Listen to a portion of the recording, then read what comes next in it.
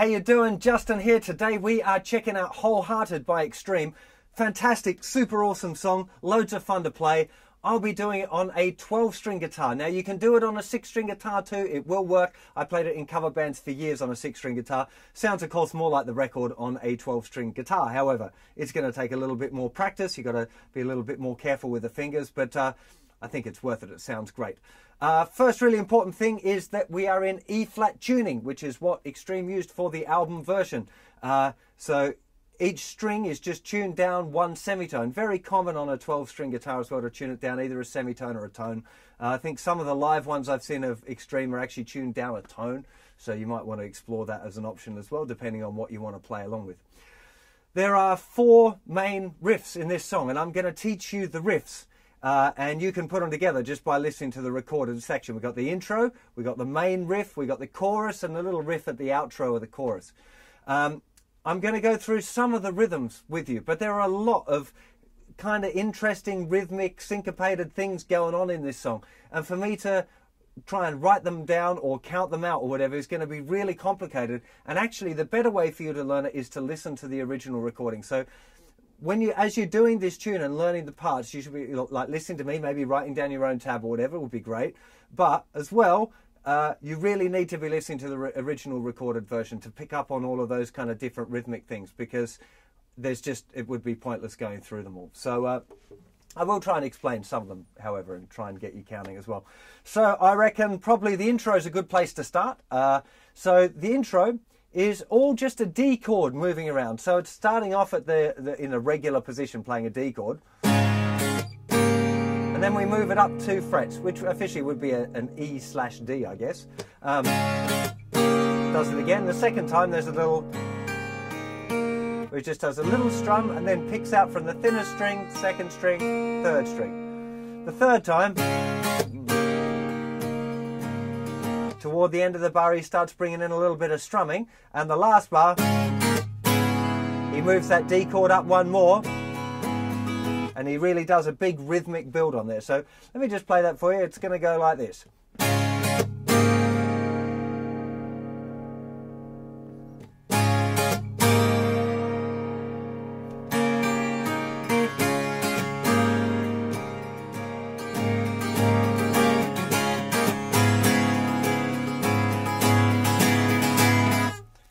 See that, that little build up. I was trying to stop it there, but it's uh, that last little bit is the little build up into the main riff.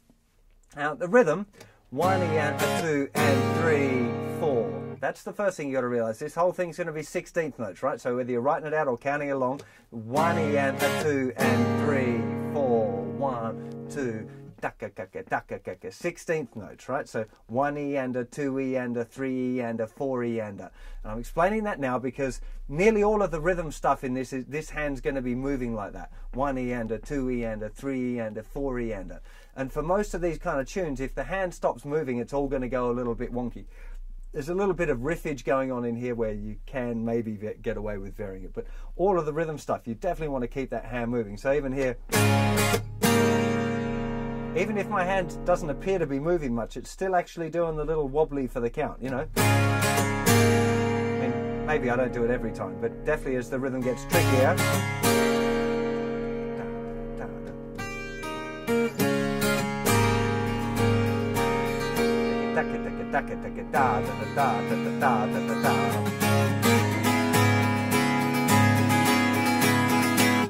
So that's a, it's a really big deal. Da da da da. That's sort of down, down, up, down, down, up, down, down, up, down, down, up. Is that little, you know, what's happening rhythmically toward the end. So uh, again, I'll reiterate. It's really important that you're listening to the original recording to pick up on those accents and that right rhythm, and just making sure that you keep that hand moving. I'm going to exaggerate it now, but.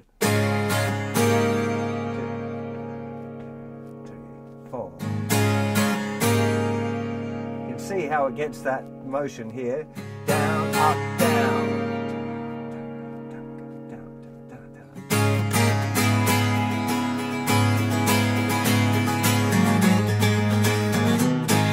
Okay, now it's time to check out the main riff, and there's quite a lot going on here. So I'm just going to play it for you at a kind of a medium speed, then a real slow speed so you can hear the bits. Then I'll go through and explain each of the bits to you. So uh, goes like this.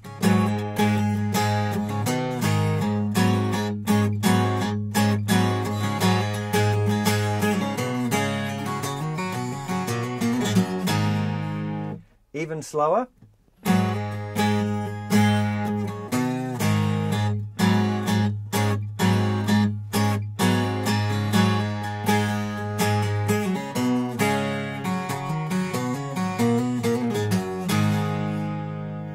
Okay, now let's check out all of these bits. So we're starting off here with the first finger in the fifth fret of the fourth string.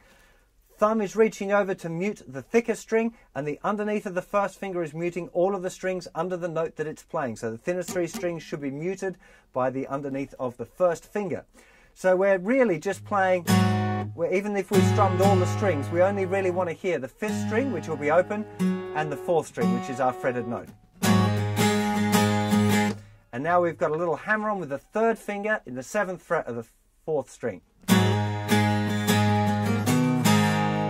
Now the rhythm. Down, up, down, down, down. Explain that last little bit first. After that part, we've got second finger in the third fret of the fifth string with a little bend, not like a little tweak, not really a proper bend. And then an A chord. So we're just using a little bar with our first finger. We're strumming the open A string, fourth string, and third string. We don't need to worry about any notes past that really. So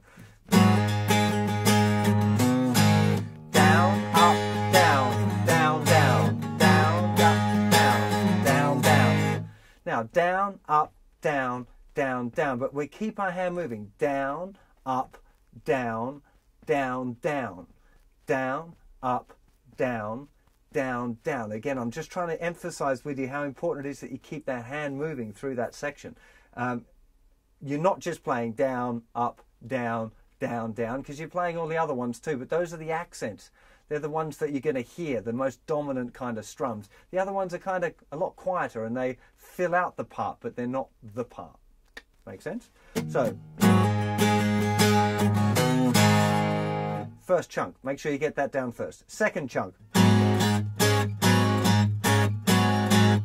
Now we're using pretty much all down strums for this. We've got our first finger doing a little kind of mini bar on the fifth fret on the third and fourth strings. And then we're going to hammer our second finger down on the sixth fret of the third string. Classic blues, kind of blues lick. Then we've got, now I can't hear whether it's just the open string or whether the third finger is going down to play the note A. It's an octave apart and on a 12 string I just can't hear which one it is. But I've been tending to play just the open A. So the little hammer on, then the open A, then third finger, doing a little bar across the seventh fret of the third and fourth strings. Then the little hammer on thing again. Then the open A, the little bar, and then the little hammer on thing again. Slowly.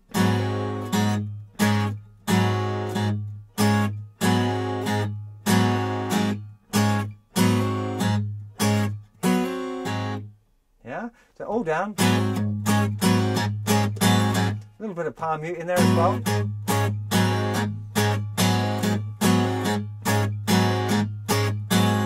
That's really what you want to be practicing, just that little cycle of that bit. When you're cool with that, you join the two bits up.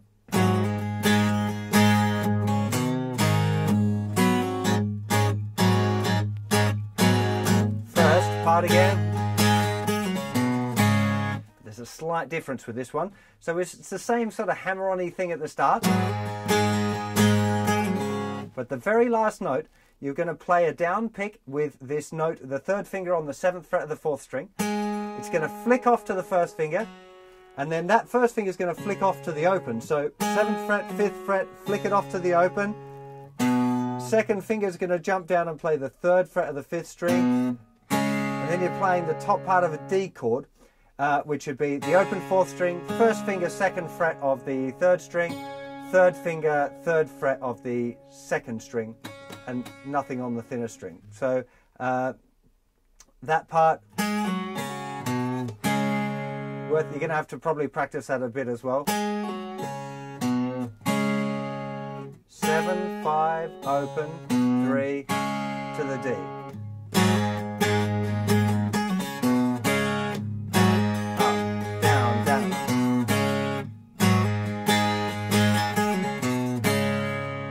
So far now we got the three elements. And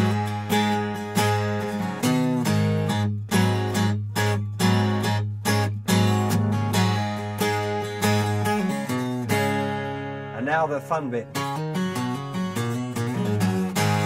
It's actually nowhere near as hard as it sounds. Uh, so we've got our first finger on the fifth fret. We do a hammer on with the third finger in the seventh fret. And then we're going to pluck the G string. So it's down, hammer, and then an up pick on the G string. If I can do it vaguely accurately, it would help. Then we move that shape down to the third fret and go third, fifth, and then that G string again.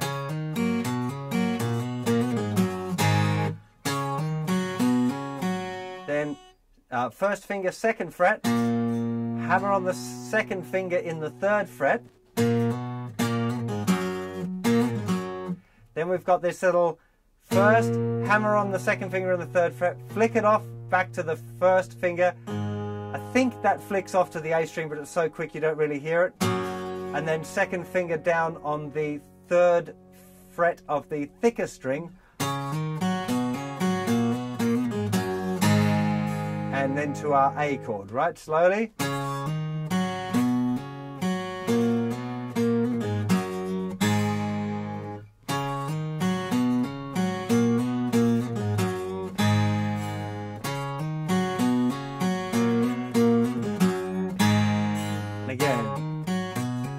Plenty, plenty practice on that, especially that last. It's a little bit, well, for me it was awkward under my fingers.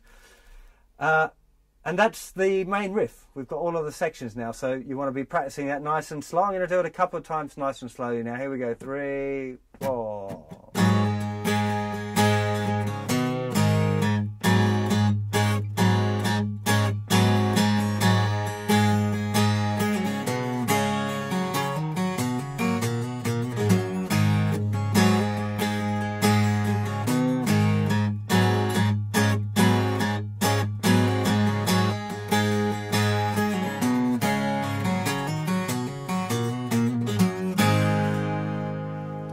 Probably the main thing that people want to learn with this tune. Great riff, man. Really clever. I like it a lot. Uh, so we're into the chorus. Now the chorus is back starting off with our little D chord thing. So, so we're starting off with a D, down, up, down. Then we're up to an A triad over the D. So we're moving right up to the ninth fret. So it's open D string, then 9, 10, 9. We move that back two frets, which would be then G over D. Oh, if I can do it right, that'd help. And that little, it's a little A triad. So first finger barring the fifth fret on the thinnest two strings, second finger playing the sixth fret of the third string. It's the top part of the little A bar chord, you know. And then we've got this nice little run up on A. So this is uh, second finger in uh, the, it's an A7 chord, second finger in the second fret of the fourth string, and third finger in the second fret of the second string. Then we move up, the slide the second finger up to the fourth fret. So we open, four, open, third fret with the first finger. Kind of like a D over A. Now we've got this other kind of A minor, so third finger, uh, second finger slid up now to the fifth fret. So we got open, fifth, open, fifth, open, then back, and back to the original A7.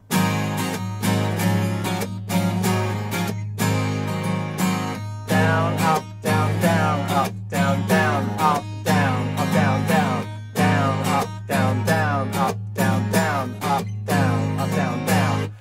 kind of approximate rhythms there, but again, you've got to listen to the recording. Got to listen to the recording. Got to listen to the recording. Uh, then it does the same thing.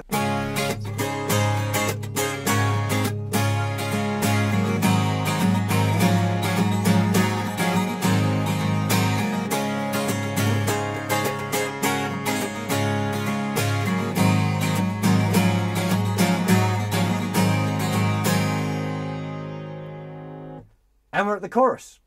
Chorus is starting off with a G chord. So, big, proper 80s rock G, or 90s rock really, I suppose sh I should say, not 80s. Uh, so, second finger playing the note G, the third fret, the thicker string.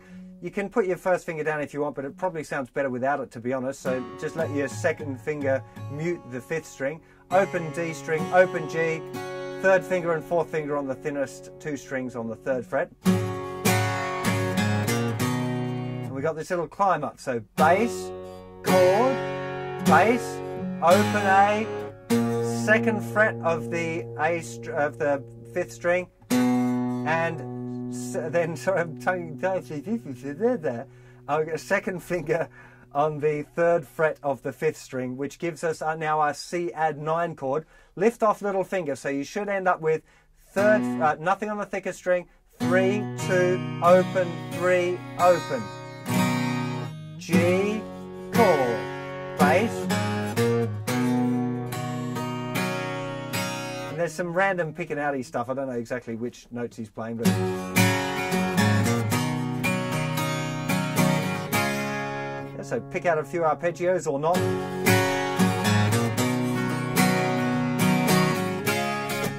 D, now it's just like the intro, D to E over D.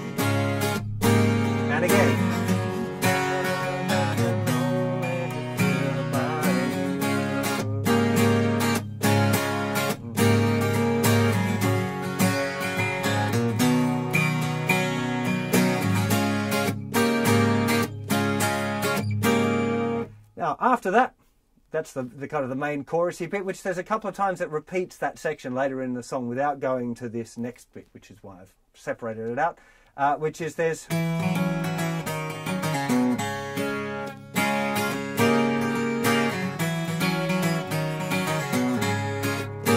So we've got the D, to the D with me, then Uh, so that part we've already discussed.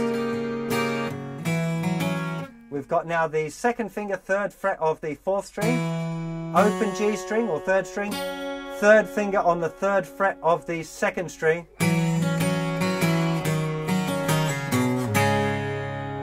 So we've got here now fourth, third, second, second, third. Then we move our first finger to the second fret of the fourth string. And then we pluck the second string with our third finger still on it. Then we go back to playing the fourth string, which our first finger is still on the second fret of the fourth string. Play it, flick it off. Second finger goes down on the third fret, uh, which is the note C. Um,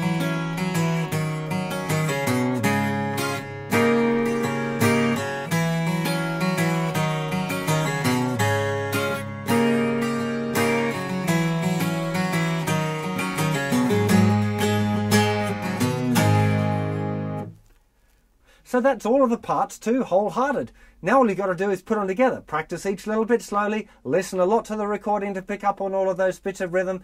Just make sure you keep that hand moving. If you keep the hand moving, the rhythm will fall under your hand correctly. It's really important. Lots of listening combined with remembering to keep that hand moving, and you'll get all your picking directions and stuff sorted out for you and where those accents are.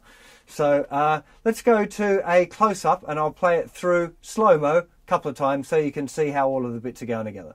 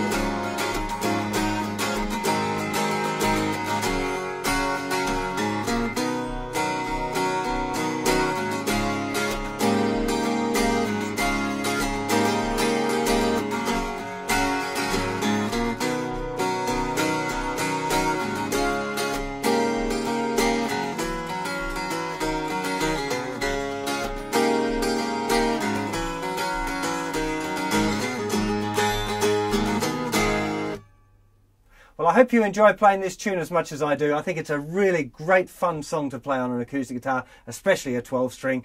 See you for another lesson or song very soon. Take care of yourselves. Bye bye.